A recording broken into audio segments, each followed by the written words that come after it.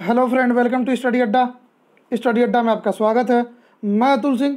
आइए दोस्तों, शुरू करते हैं फिजिक्स पार्ट नाइन। आज का पहला क्वेश्चन, विद्युत आवेश के संरक्षण का जो नियम है, इसकी खोज किसने की थी? दोस्तों, विद्युत आवेश के संरक्षण की खोज की थी बेंजामिन फ्रैकलिन ने। जी हाँ दोस्तों, विद्युत आवेश के संरक्षण के नियम का प्रतिपादन सबसे पहले विलियम वाटसन तथा बेंजामिन फ्रैकलिन के द्वारा किया गया था तो राइट आंसर हो जाएगा बेंजामिन फ्रैकलिन। नेक्स्ट वैद्युत आवेश को भंडारित करने के लिए प्रयुक्त उपकरण को क्या कहते हैं? दोस्तों, जो वैद्युत आवेश को भंडारित करने के लिए प्रयुक्त उपकरण यूज़ होता है, वो कहलाता है संधारित्र। जी हाँ दोस्तों, संधारित्र एक ऐसा संयोजन है जिसमें किसी चालक के आकार में परिवर्तन किए बिना उस पर आवेश की पर्याप्त मात्रा जो है संचित की जा सकती है तो वो कहलाएगा हमारा संधारित्र। नेक्स्ट हृदय स्पंद के दौरान विद्युत परिवर्तनों को रिकॉर्ड करने वाले उपकरण का नाम क्या है? दोस्तों, हृदय स्पंद के दौरान विद्युत परिवर्तनों को रिकॉर्ड करने वाले उपकरण को हम इलेक्ट्रोकार्डियोग्राफ कहते हैं। ऑप्शन बी इलेक्ट्रोकार्डियोग्राफ नेक्स्ट द्रवों में चुंबकत्व का कारण क्या होता है? दोस्तों, द्रव्यों में चुंबकत्व का जो कारण है, वो इलेक्ट्रॉनों की वर्तुल गति है। जी हाँ दोस्तों, द्रव्यों में चुंबकत्व के स्रोत नाभिक के आसपास इलेक्ट्रॉनों की कच्ची कोड़ी गति और इलेक्ट्रॉनों के आंतरिक चुंबकीय संवेग होते हैं। तो द्रव्यों में चुंबकत्व का कारण तो हो जाएगा इलेक्ट्रॉनों की जो वर्तुल गति है, वही। तो ऑप्शन बी। नेक्स्ट विषम मिश्रण से लोहे की परत को किस तकनीक से पृथक किया जा सकता है? तो दोस्तों, ये किया जा सकता है चुंबकीकरण के द्वारा। जी हाँ दोस्तों, विषम मिश्रण से लोहे की परत को चुंबकीकरण तकनीक से पृथक किया जा सकता है, क्योंकि लोहा जो है एक चुंबकीय पदार्थ है जो चुंबक की ओर आकर्षित होता है। अतः जब किसी चुंबक को हम विषमांग मिश्रण के पास लाते हैं तो लोहे की कतरन मिश्रण से निकलकर चुंबक पर चुंबक पर जो है चिपक जाती है।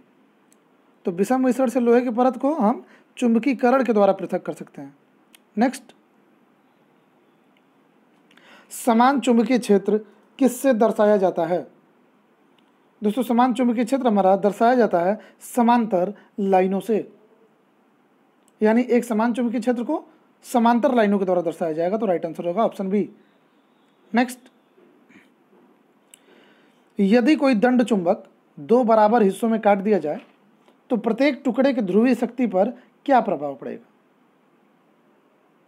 दोस्तों, यदि किसी चुंबक को दो बराबर हिस्सों में काट देते हैं तो प्रत्येक टुकड़े के ध्रुवीय शक्ति पर कोई प्रभाव नहीं पड़ेगा, यानी वो अथ्यावत रहेगा। जी हाँ दोस्तों, क्योंकि क्या होगा?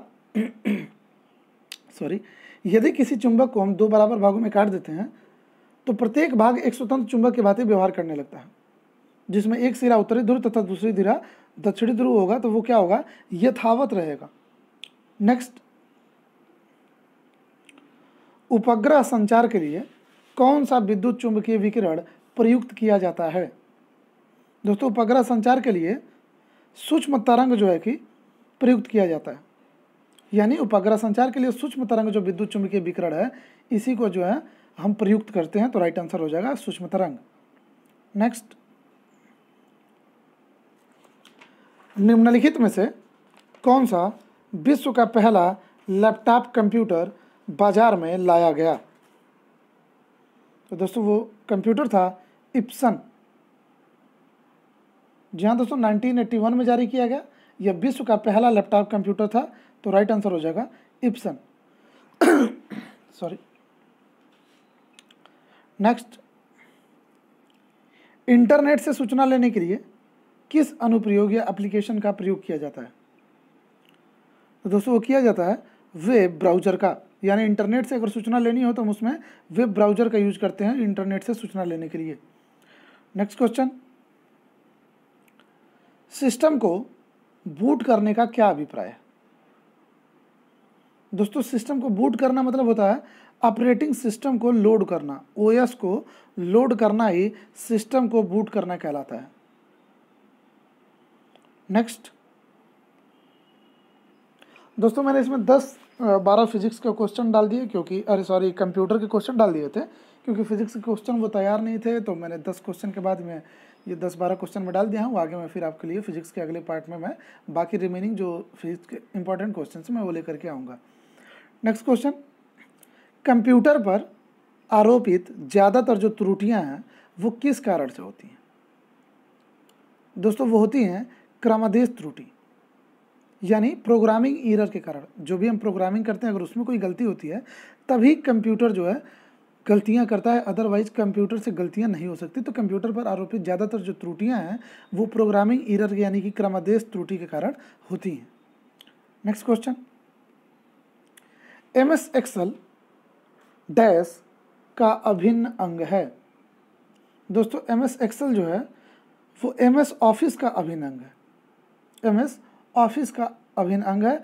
यानी ऑफ़िस में कई काम होते हैं, जैसे पत्र का प्रारूप तैयार करना, गणना करना, सुचित्रित कार्य करना डाटाबेस तैयार करना ईमेल इत्यादि।